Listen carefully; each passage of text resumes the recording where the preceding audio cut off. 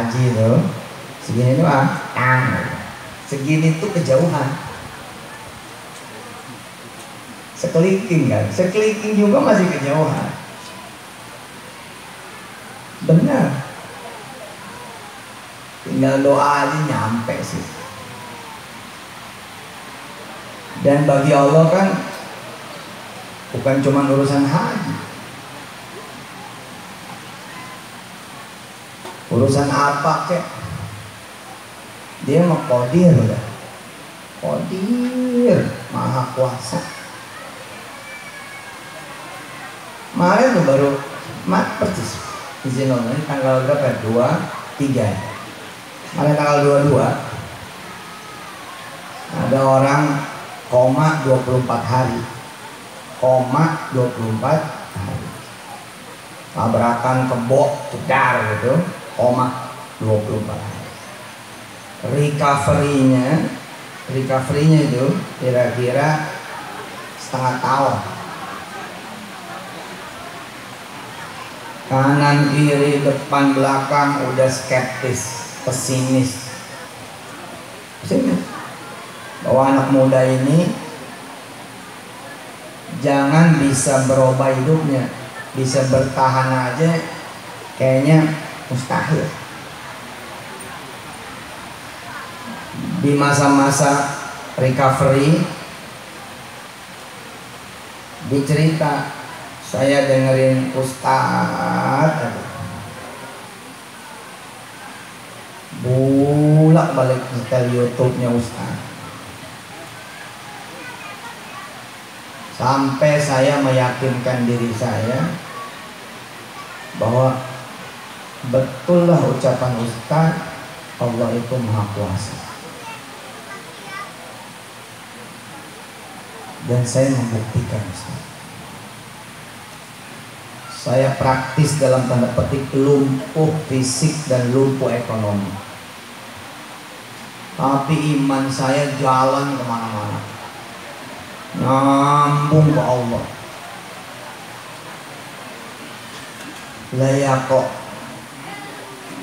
saya yang anak muda biasa kerjaannya ya kayak yang lain.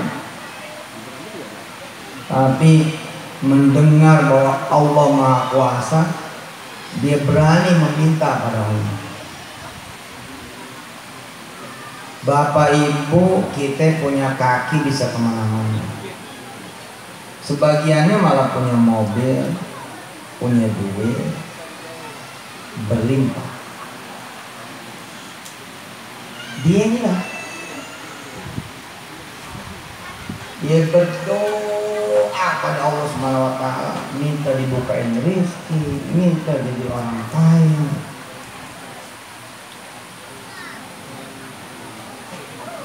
Minta muka nggak ada bekasnya kecelakaan.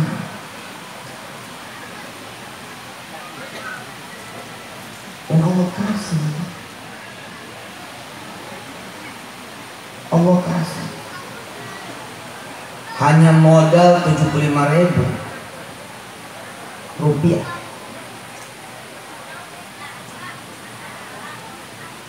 MS Glow lahir.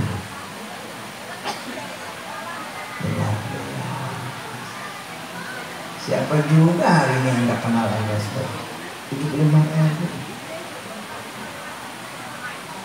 Dalam 2 tahun nyetak 600 miliar sekarang punya 6 pabrik. Ya udah ke mana-mana udah.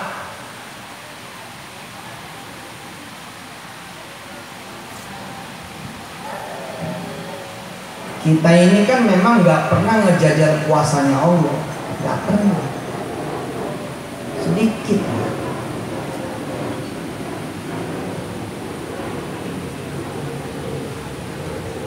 Permintaan kita kadang-kadang bukan kadang-kadang ya seringnya tuh nggak ada lompatan nggak pong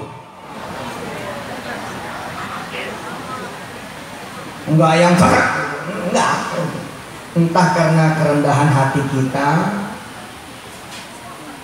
ketawaduan kita di hadapan Allah yang maha tinggi lalu kita merasa ibadah kita yang enggak seberapanya amal soleh kita juga enggak seberapanya. Lalu kita akhirnya doanya juga ya berdasarkan ibadah kita merasa kita bukan ahli yang berjamaah bukan ahli ibadah yang ke masjid terus setiap waktu puasa Senin Kemis Lalu kita merasa malu, sungkan dan tidak berhak berdoa. Dan itu salah. Oh, doa sendiri adalah ibadah. Kita tuh jarang ya sampai begini ya judulnya. Qala a'lamu annallaha ala kulli syai'in qadir. Qala a'lamu sekarang saya tahu. Harusnya kan ke mana aja gitu kan ya tapi emang kita perlu ngejajal, perlu ngetes iman di tes. Sampai kalau bahasa Quran itu dari mulai aukalladzi marra ala qaryatin. Itu ujungnya adalah qala a'lamu. Oh sekarang saya tahu annallaha ala kulli syai'in qadir. Saya ngeliat polisi di belakang. Lu gak ngeliat tentara Pak Sabar sama Pak siapa itu?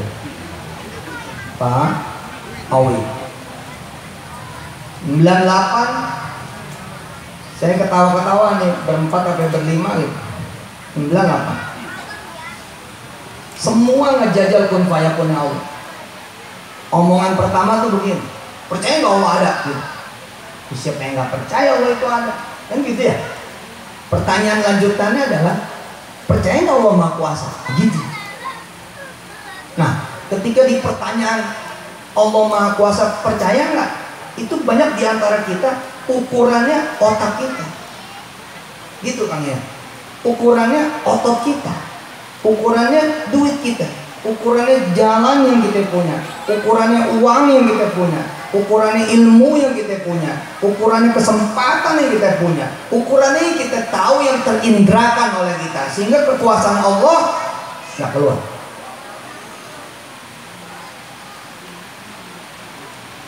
Seru. 28 Didit namanya. Pak Didit Percaya Allah nggak lo? Nih kalian percaya Allah nggak? Percaya lah tapi Allah mau kuasa percaya nggak?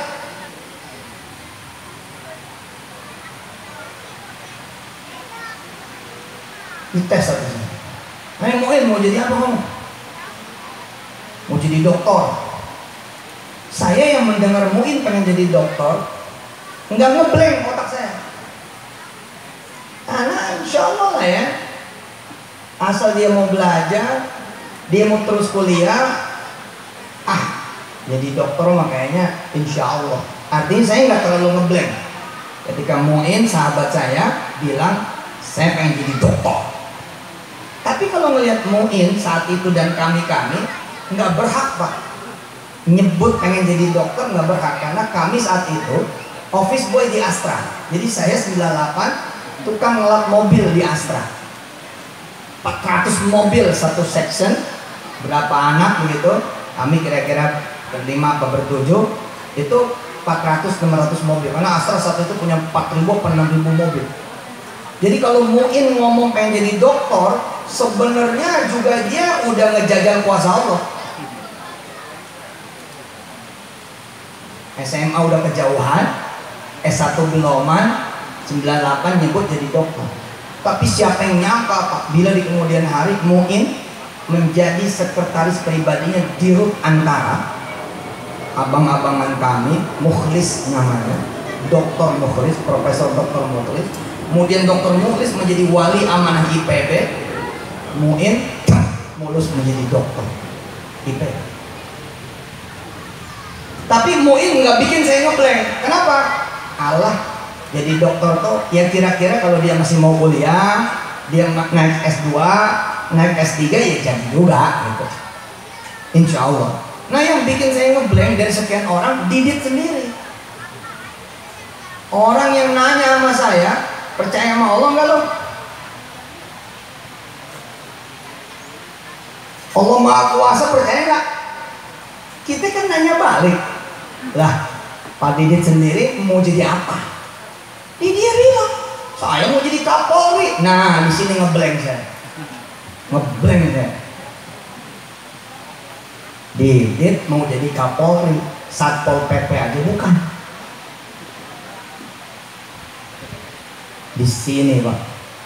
Saya ngelihat kekuasaan Allah. Qala a'lamu annallaha ala kulli syai'in qadir. Jadi kalau ibu bapak habis ini kita berdoa ya Allah saya mudah-mudahan bisa haji. Allah itu belum ngetes kuasa Allah. Tapi kalau pengen ngetes kuasa Allah, ya Allah jadikan saya tiap bulan ngeberangkatin 100 orang umroh, setiap tahun ngeberangkatin 1000 orang haji. Itu baru ngejajal kuasa Allah. Nih, ya kalau cuman ya Allah berangkatin saya haji, cemen pak. Belum itu, nggak bakal bilang subhanallah, nggak bakal. Karena prosesnya pasti begini prosesnya, nggak teng. Teman-teman muda saya pada bikin majelis, bikin pesantren. Kalau kita tanya, bagaimana? Menerima berapa? Nah, Hmm. Susah amat nyebut angka itu susah bener ngawa ngawa ya kan aneh beda main eh apanya yang beda Tuhan kita sama beda eh, karena ente ngukur ente. Ente bukan majelis di tengah gang. Bagaimana ente mau nyebut ente bakal punya 5000 santri?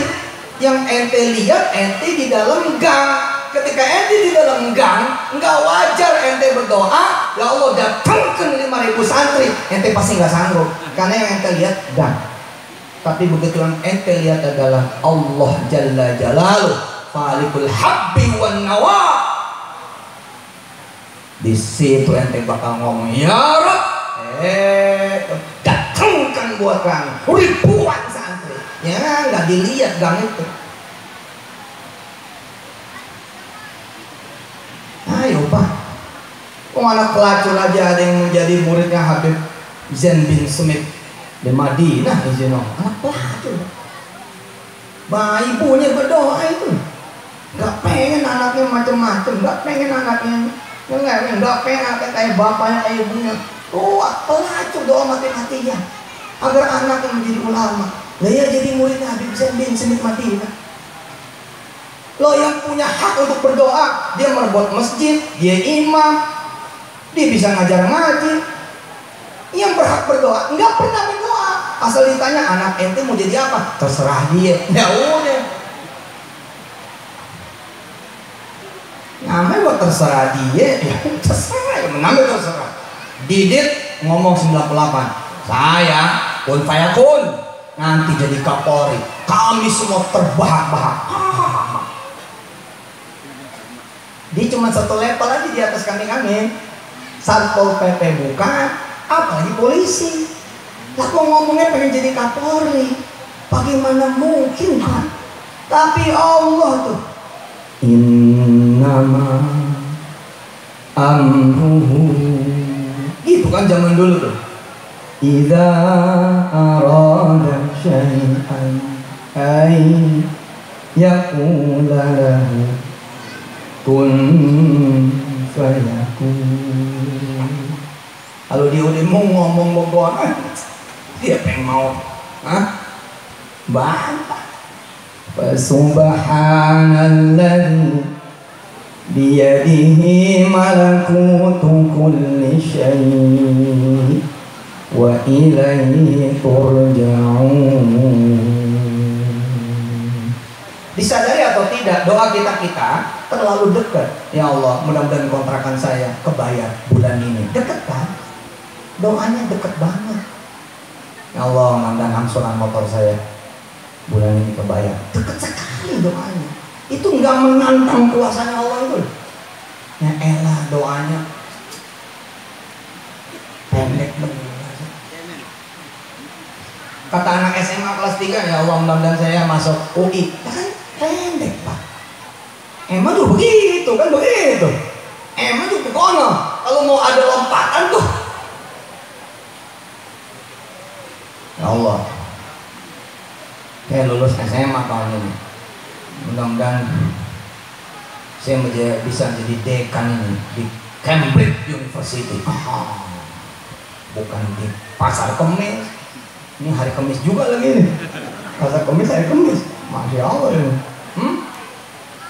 Itu kan doanya lompatan pak Bukan jadi dekan di tanah air loh Doanya Ya Allah mudah-mudahan saya bisa menjadi dekan Di Universitas Islam Madinah dan sejagat pak kalau doa mudah-mudahan saya lulus Madinah, mudah-mudahan saya lulus Madinah. Asal nanya mahasiswa kanan kiri, doanya begitu dan Allah kabulkan. Mereka yang berdoa pengen kuliah di Universitas Islam Madinah, ya ke Madinah. Kamu kultum kata Allah. Bagaimana doa kamu? Tapi ada satu anak Malaysia, doanya saya akan jadi dekan di Universitas Islam Madinah. Dialah satu-satunya orang Melayu yang menjadi dekan di Universitas Islam Madinah. Lah kok bisa gitu? Lah ulama-ulama zaman dulu dilepas oleh ibunya semua. Kalimatnya apa? Mudah-mudahan kamu jadi imam di Masjidil Haram. Ya nyatanya pada jadi imam di Masjidil Haram di zamanihim, pada zamannya mereka semua. Giliran kita ngelepas anak kita, mudah-mudahan kamu bisa kuliah di Masjidil Haram ya. Ya segitu. Ini kuliah gitu Nah omongan kita ini suka terlalu dekat sakit? Ya mudah-mudahan saya sembuh. Jarang orang sakit. Ya lo kasih rumah sakit sendiri aja lah. Pusing saya. Mesti daftar-daftar BPJS BPJS apa sih? Nah mudah-mudahan saya nggak lama lagi bisa punya rumah sakit. Itu kan lompatan pak. One day bila bapak kemudian dijawab oleh Allah Jalla Jalaluh Ibu dijawab oleh Allah Jalla Jalaluh Maka ibu akan seperti ayat tadi Qala a'lamu Annallaha ala kulli syai'in Waduh. Didit tahun 98. Ini kalau mendengar ceramah saya jangan meleng. Woi, jangan meleng. Nanti sampingannya meleng, jangan meleng karena ceramah aneh ke mana ke mana ke mana ke mana ke mana. Begitu ente balik lagi, oh, ngomongnya lain, lu yang meleng. Jangan meleng, mahal. Ini mahal. Apalagi lu pada anak muda, mahal. Demi Allah mahal. Dengerin baik-baik. Didit nanya. Didit nanya nih. Lu percaya Allah nggak? Percaya. Ya siapa juga hari ini nggak percaya Allah? Insya Allah percaya. Tapi ketika ditanya, Allah mah kuasa percaya nggak? Ah, kita nggak langsung jawab. Karena emang kita nggak pernah ngejajal kuasanya Allah pak. Nggak punya duit, minta nasi goreng, lah deket pak. Paham nggak?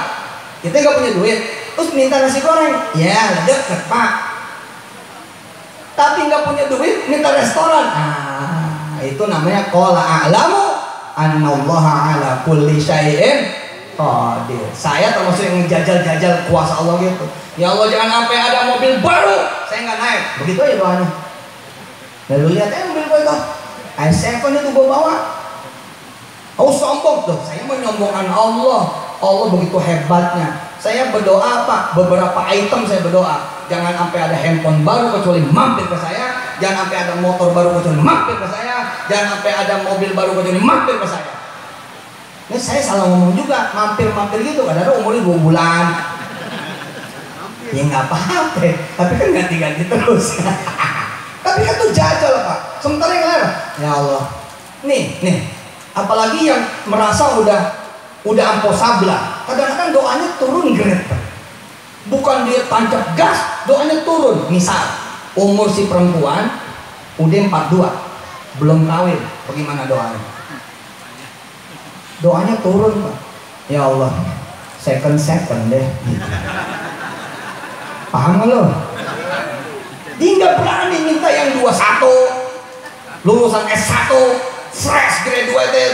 Nggak berani pak kira-kira dia mikirnya gua 42 ya 55 lah laki gua gitu kan? Maka bahasanya second second deh gitu. Sementara di TV One ada nenek-nenek umur 70 dia iseng berdoa saya pengen kawin sama anak muda ini bawah 20 tahun dikabul sama Allah. Kita penonton TV One yang bingung kok bisa dikawin sama nenek-nenek? Nah nenek-neneknya berdoa Allah udah jamin bodoh oni astagfirullah Nah, loh iya mah. Bininya satu, sederhana aja, nggak pernah berdoa dia. Eh, jujur nggak berani. Ngomong aja nggak berani apalagi berdoa. Beda Ustaz almarhum almarhum Ustaz Arifin Ilham. Dia kalau ketemu kita kita orang abang nanti empat abang nanti empat abang nanti empat. Kok mana mana omong empat empat empat empat empat, empat. jadi dia. Sementara kita kita sih alah gue mah satu aja. Alah gue mah satu aja. Alah gue mah satu aja. Ya satu iya alhamdulillah tapi itu bukti bagaimana omongan lu pada Lu minta nasi gorengnya dapat, lu minta warung nasi gorengnya dapat, lu minta 10 warung nasi gorengnya dapat, minta 100 warung nasi gorengnya dapat, minta 1000. Ya jajal aja, Pak. Serius, Pak. Sampai dapat tuh kalimat wa'lam. Iya. Hmm. Sekarang saya tahu Allah Maha Kuasa. Ola a'lamu Allah ala kulli syai'in qadir. Keren loh pak. Udah gak meleng bagus nih. Lu gue gatel samping gue meleng. Biasanya yang diomelin pakai jadi jahit tenang aja. Cuman belum gue tabok, biasanya gue tahu Saya udah tahu dulu. Saya bakal jadi kayak udah tahu Kenapa? Gue ditabok sama Kiai Sukron Makmun dua kali. Jadi begitu ditabok, oh berarti kita jadi kiai nih. Karena kalau ditabung sama kiai kita jadi kiai. Zaman kita jadi santri jadi kita malah ngantri dipukul sama ustaz. Apa nih kita dipukul sama ustaz? Tapi anak sekarang masih mengambekan Ibu bapak yang dirahmati Allah berlalulah waktu 99, 2000, 2001, 2002, 2003, 2004, 5, 6, 7, 8, 9, 10, 11, 12 kami menerima undangan Didit yang bukan satpol pp apalagi polisi. Dan dia berdoa supaya saya jadi kapolri. Dan usianya mus mungkin. 98 aja dia udah 40 gak mungkin. Ya kira-kira 35 40 tapi ternyata tahun 2012 saya punya undangan dapat undangan dari Pak Didit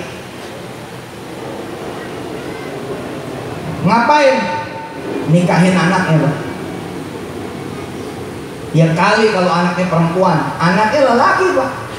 Dan Bapak tahu siapa dia biasanya? Kapolri Pak.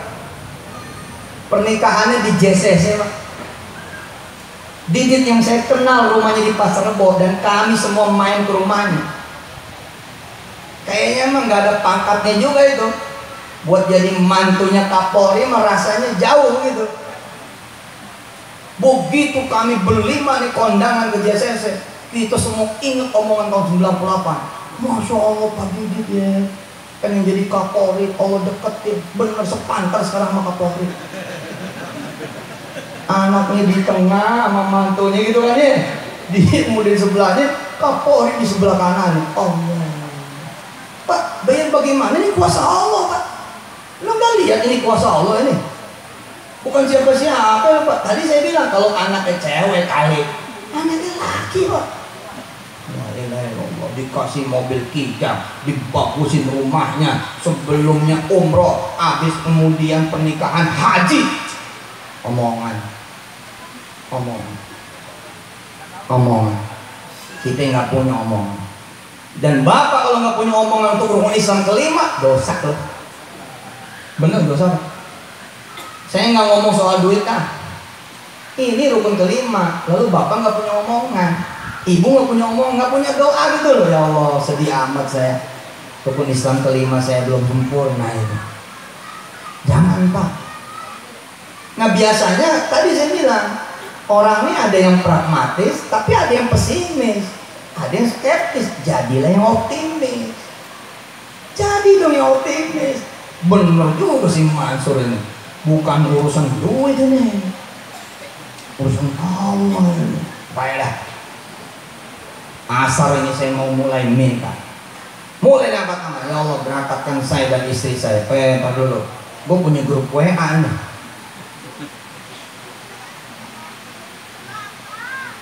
satu pohon keluarga. Ah dari itu aja doanya ya Allah mudah satu mbah. Saya yang berangkat. Berbuah pak. Berbuah. Almarhum Daman. Teman saya dekat. Bina Ilmu. Republika. Wartawan senior Republika. Di Mekah. Izin Allah Subhanahu wa taala ada cerita ada orang miskin kedua sama bininya. Katanya ngelihat saya di televisi. Udah minta aja mau Allah. Dan mintanya jangan yang cetek-cetek minta aja udah sama Allah mintanya jangan cemen-cemen. Minta aja sama Allah mintanya sekalian yang joder yang menggelegar gitu. tapi dia menganggap doa berdua minta haji itu udah gede doa minta supaya umroh berdua itu udah gede. Kenapa? Anaknya kecil-kecil. Anaknya tiga orang. Terus katanya Yusuf Mansur ngomong setiap Jumat sedekah supaya tuh doa naik senaik-naiknya. Dia jalanin pak. Setiap Jumat pagi dia bikin nasi goreng. Jadi yang dia undang bukan yang gede-gede yang dia undang yang kecil-kecil. Kuping saya nih cerita nih orang dengan izin Allah. Kenapa Pak Ustadz di Daman pada saat itu saya ngundang yang kecil-kecil? Kalau yang gede-gede telurnya atu-atu. Kalau yang kecil suwir aja jadi. Lah kita orang susah Pak Ustaz supaya tetap bisa sedekah gimana? Eh nasi goreng aja. Cuman yang diundang anak kecil. Jadilah tiap habis subuh Jumat pagi temen-temen anaknya datang ke rumah dia sarapan nasi goreng. Doanya lucu pak. Lo doanya dari hari pertama udah berubah. Doa bisa diralat hebat loh pak.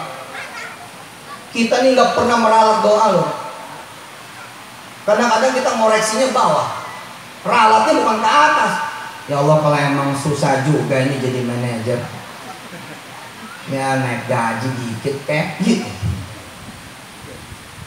Ketika kita nggak diterima-terima kerja, doa kita langsung turun grade. Apa kayak nggak ada gajinya nggak apa-apa lah. Yang penting ada kerjaan. Jangan pengen dilihatnya nganggur. Coba pak. Harusnya begitu kita turun turun turun turun ini mulut jangan ikut turun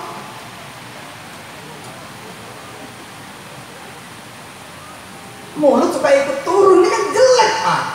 Makanya saya bilang kalau ente nggak punya duit tawar rumah orang.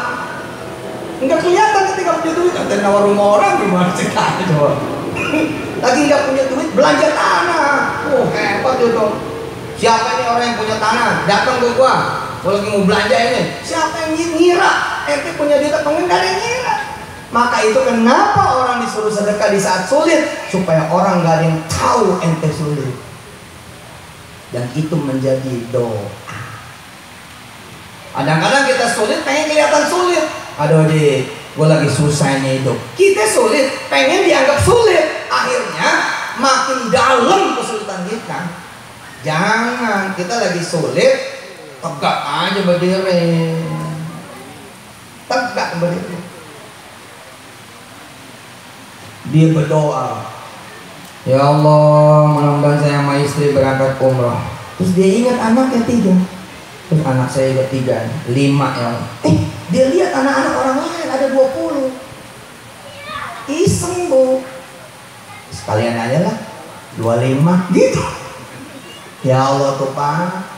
Nggak pakai yang tadi yang tadi mah komplit ini ratibnya pakai wajah kajian sama aja mumun dua kali dia berangkat. Lah ahli mana ahli ratib seminggu dua kali muter-muter tiap RT beda-beda. Iya, betul lah Hah? cocok ya? Antum yang mimpin itu ya? Masya Allah doain aneh Ustaz. Pak ini doa doanya nggak nangis pak. Lagi doa ingat anaknya ada tiga. Eh jangan berdua lah berlima begitu doa berlima lihat lagi. Ada anak-anak yang lain ya sekalian ya lah. Dia dua lima pak apa Allah perlu mengubah dia dulu menjadi kaya? Enggak lama lama pak. Cuman perlu tujuh bulan tuh. Tiap Jumat pagi doanya langsung confirm 25, 25, 25, 25. Di Lala tuh jemaah tetap. Gak berkurang kan nambah 25 aja gitu. Nah bulan ke-8 ada peristiwa. Ada satu ayah dari 20 anak ini dipanggil sama bosnya. Ada nggak orang di kampung kamu yang soleh? Nah ini udah cakep nih, ini cakep nih. Gue nengok lo ngeliat gue cakep. Dengerin ya anak muda yang bikin saya alhamdulillah naik dengan izin Allah. Izin Allah walarian wala sukma. Saya selalu menjaga kalau ngaji saya terus melihat wajah guru. Saya nggak berani tuh ngeliat ke bawah. Apalagi sampai gigit-gigit gini, apalagi sampai kemudian saya tertidur nggak berani. Dari kecil, dari SD dan saksi saya tuh masih banyak saya nggak mau kalau lagi ngaji belajar sama guru jatuh. Kenapa? Takut begitu guru nengok, ceng, kita lagi di bawah pandangan. Dijaga, dijaga. Wah, nengok ke sini. Geser, geser. Duduknya geser. Sallu ala Nabi. Dipanggil nih satu ayah dari 20 anak. Sini. Ada nggak orang soleh di kampung kamu? Saya pengen ngumrohin. Jawaban orang ini begini pak. Ada pak. Tapi bayangnya bapak datang deh, ngeliat dengan mata kepala sendiri. Orang yang pengen bapak umrohin nih, bapak datang deh. Diceritakanlah oleh si ayah dari 20 anak ini, salah satu dari 20 anak ini bahwa anak saya tuh tiap Jumat pagi disedekain sama orang itu. Doanya supaya bisa umroh, masya Allah. Bapak punya niat ngumrohin beliau. Jadi Pak, kalau mau hebat, Bapak datang langsung, saya temenin. Maka hari Jumat itu ada dua orang yang berbeda. Dan tahu doanya, diralat lagi Bang Hadi. Ya Allah, kan tujuh bulan nih. Ya Allah, mudah-mudahan saya istri saya, tiga anak saya dan 20 anak ini yang selama ini Jumatan sedekah ini makan berangkatin semua. Gitu kan ya? Tapi doa Jumat pagi itu berubah. Ya Allah mudah-mudahan saya sama istri saya sama tiga anak saya sama 20 anak. Ini ini siapa nih? Gitu. ikut berangkat ya? Gitu. 27 ya Allah. 27 kita nih. Ya kalau enggak berdua satu dulu deh. Kan jelek banget doanya. Doanya gimana? Bu kalau jadi bini bu jangan mau tuh suami doanya bu jangan mau tuh karena suami doanya suka egois. Ya Allah saya dulu dah. Duitnya kagak ada suami. Kita baru kalau udah ada nah isi saya nyusul. Begonya si istri bilang amin. Itu. Jangan jangan amin ngawur aja. Kalau situ jadi anak itu ikut protes. Bapak oh bapak doanya buat bapak doang